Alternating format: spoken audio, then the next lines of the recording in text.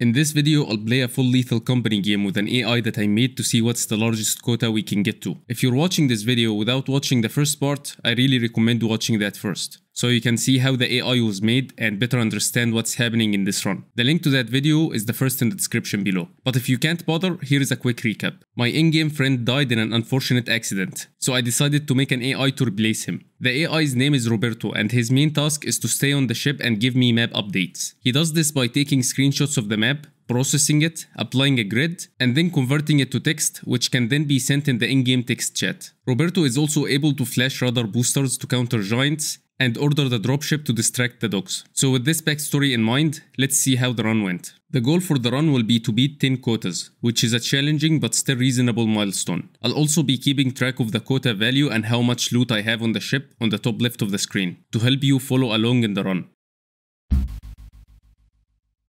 In the first quota, the first thing I did was land in the company so I can buy tools and set up Roberto on the terminal without losing time. After that, I headed to Assurance for the first day. Other than me missing the shortcut jump at the start, the day was fairly uneventful. I ended up collecting 193 points worth of loot. This takes us to the second day. March was clear, so I went there hoping to find some beehives. I did not find any beehives, and this little shit stole one of my bottle boxes. I ended up with 199 points worth of loot. On the third day, March and Assurance had conditions, so I went to Vow instead, again hoping that I'll find some beehives. This time I did find not one, but two beehives, and secured them both on the ship's railing. At this point it was already 4pm, but I still decided to go into the facility for some more loot. I got 3 loot items and a face hug. After dealing with my new little friend, I headed back to the ship. Unfortunately, during takeoff, I was only able to get one of the beehives on the ship, because I ran too early and got criticaled by the bees. I ended the day with 189 points worth of loot.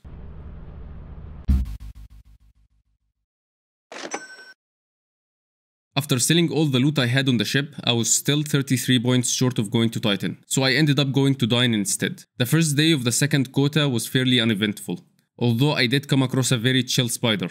I ended the day with 366 points worth of loot. The second day was similarly unexciting. I got an early ghost girl and the giant spawned at 3pm, which ultimately made me leave early. I ended the day with 319 points worth of loot. The third day I had a fantastic loot run. By 10.30 am I already had 298 points worth of loot. And that's before I even found the kitchen, which was loaded. Moving the loot to the ship took 5 journeys, which were mostly peaceful, until the last journey.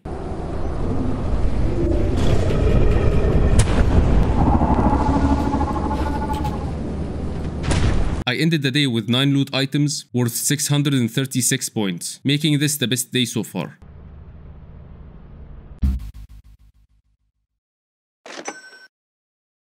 For the third quota, I was finally able to buy a radar booster and go to Titan, which makes me think that perhaps I wasn't as stingy with selling loot as I should have been. The first day was another good loot day. The fire exit led directly into a storage room with 5 loot items. The main entrance also had a closed storage room which I cleared up. After moving the loot into the ship, I went back for round 2. But the Jester was not a big fan of the idea, so I decided to call it a day. I ended up with 429 points worth of loot. The second day was a lot less fortunate as I died early to a nutcracker.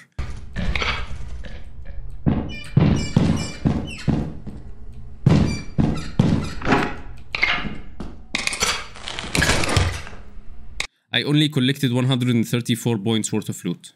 The third day was interesting to say the least. Initially things were going smoothly. The apparatus room was right next to the main entrance and there was a lot of loot scattered close by. After collecting the loot, and as I was moving it to the ship, a giant spawned very early, around 2.30 pm. This was inconvenient, but I just kept the radar booster in my inventory and finished moving the loot with no issues. I then left the radar booster flashing in front of the ship to keep the area safe while I went to get the apparatus. When I came back, this happened.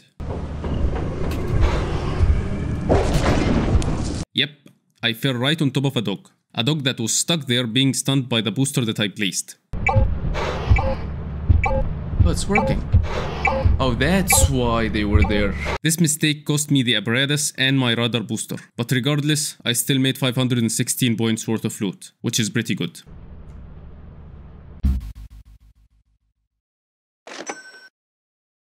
The first day of the fourth quota was the best loot day in the whole run. I started off by going into the fire exit, which led directly into a storage room with 4 loot items. While getting those, I noticed the grid map was telling me that there were more items in the vicinity. Turns out there was another storage room with 6 items that led into a stairway that had 2 more items, which then connected to the main entrance with one more loot item and a complimentary bracken thrown into the mix of course. I had all this loot outside by 1 pm and in the ship by 3.30 pm. I then went in a second time and found 4 more items before ending the day. By the end I had collected a total of 17 items worth 968 points, making this day the best loot day in the whole run, although we are yet to see the worst day. The second day was uneventful. I faced no monsters inside or outside and was able to get 435 points worth of loot. The third day was much less fortunate. Titan was stormy and the giant spawned early at 2 pm. I ended the day with 291 points worth of items.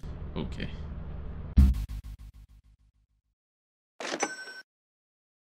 Titan was eclipsed in the first day of the fifth quota, but I decided to risk it. Things initially went pretty well. Both the fire exit and the main entrance had a good amount of loot near them, and I found the apparatus room, but both doors were locked. I also found a pretty cool bolt, but a mimic wanted to fight me for it. And there is a freaking mask.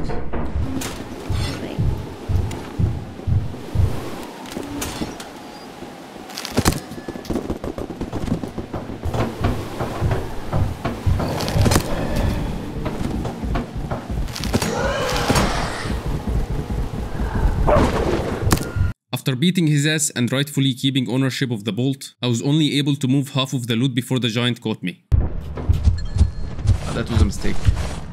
That was a mistake.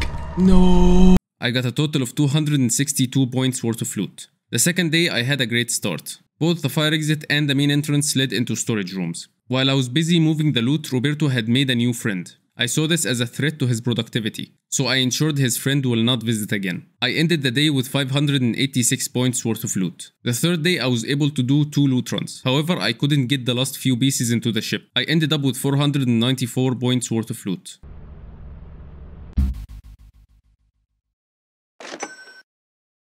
At this point in the run, I made a quick calculation, and it turns out I was in a worse position than I initially thought. To successfully complete 10 quotas, I would need to get almost 1350 points worth of loot every quota, or 450 points per day. Very challenging, but certainly possible. Moving on to the 6th quota, not much happened. The first day Titan was eclipsed again, still this turned out to be the most fruitful day in the quota. I ended up getting 638 points worth of loot. The second day I got 370 points worth of loot. And for the third day, I ended up with 407 points worth of loot. The total loot for this quota adds up to 1415 points, meaning that so far we're on track to meet the 10th quota.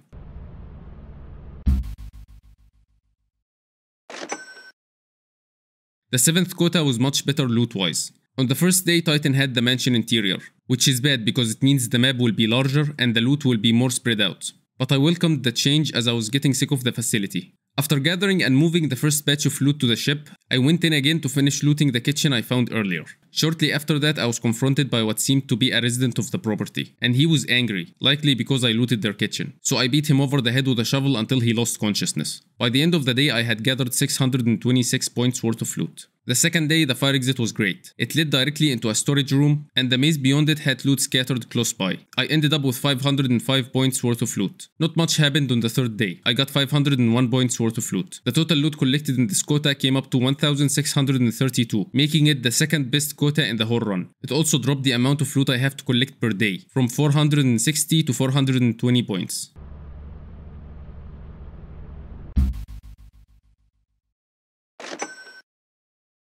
This takes us to the first day of the 8th quota. At this point I was much more confident. If I continue on the same base as the last two quotas, I should be able to beat the 10th quota with flying colors. All I have to do is to not do something stupid.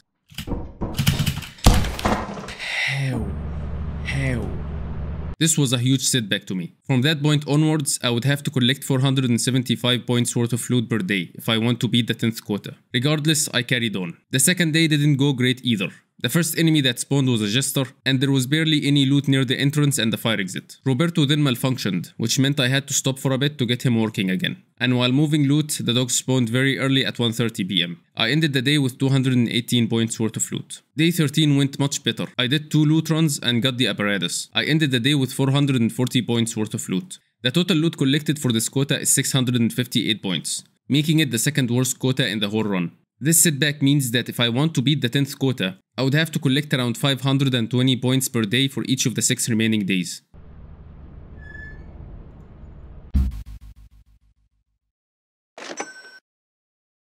Moving on to the 9th quota, the first day Titan was stormy. I first cleared the fire exit, which had the kitchen nearby. Then I went to main entrance, and was immediately met with a mimic. He was initially chill, but when I told him I had a cool shovel outside, he got really excited.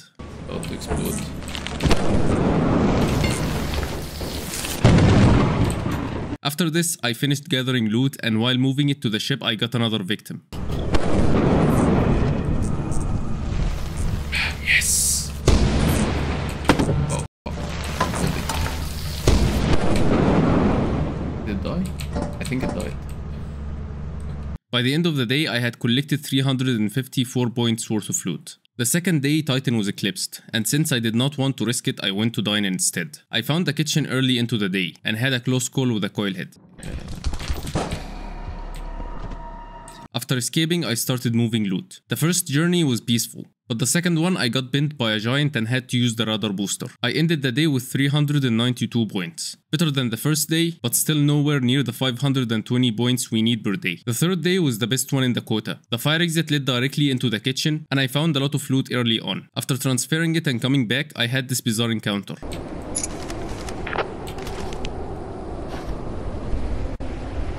New activity.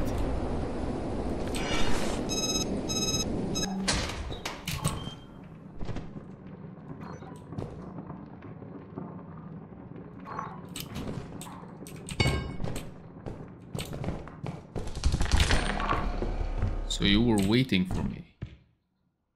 After this, I quickly checked the main entrance before calling it a day. I got 467 points worth of loot. Oh boy.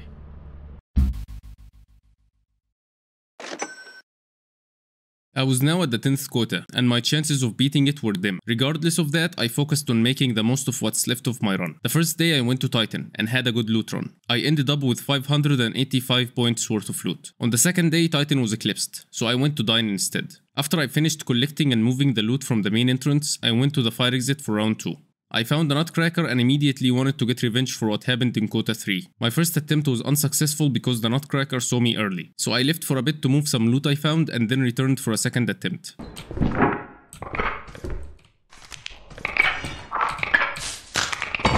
By the end of the day, I had collected 419 points worth of loot. By this point, it's clear that I'm not going to beat Quota 10, but regardless, I still wanted to make most of the last day. I went back to Titan and had a great start with the fire exit. It led directly into a loaded storage room. Maybe I'll make the quota after all. I then found the apparatus room near the main entrance. After moving the initial batch of loot and successfully getting the apparatus to the ship, I went into the facility again for round 2 but got ambushed by a snare flea. I kept trying to find my shovel, but couldn't find it in time. By the end, I had collected 494 points worth of loot. Now it was time for me to go to the company and sell loot one last time. I got to the company and sold everything I had on the ship. I even sold Roberto for good measure, but unfortunately I did not have enough. And it became clear that Quota 10 is the end of our run. After saying goodbye to the company, it was time for me and Roberto to face the inevitable.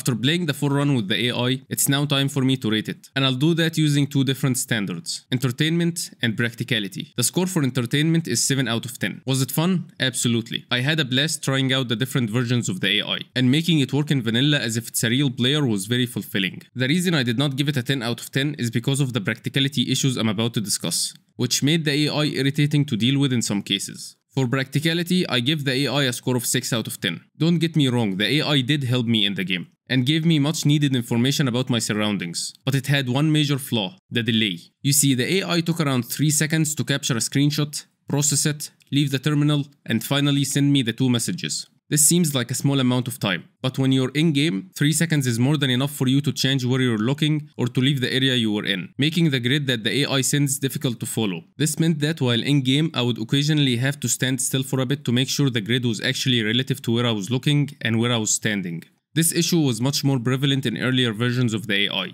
but with time I was able to make the code run faster, which made it much more bearable. So with this in mind, I would love to hear what you think in the comments. I hope you have enjoyed the video, and as always, thank you for your time.